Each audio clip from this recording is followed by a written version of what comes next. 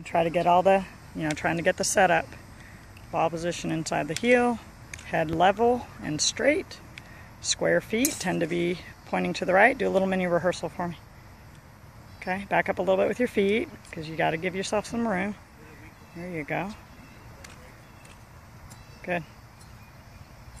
Okay, and handle always forward. But you got to practice it with uh, with the club to get the face square. Okay, now let's try it with the ball.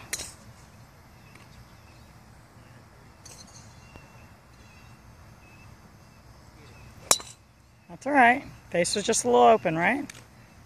Okay, do it one more time. Oh, good.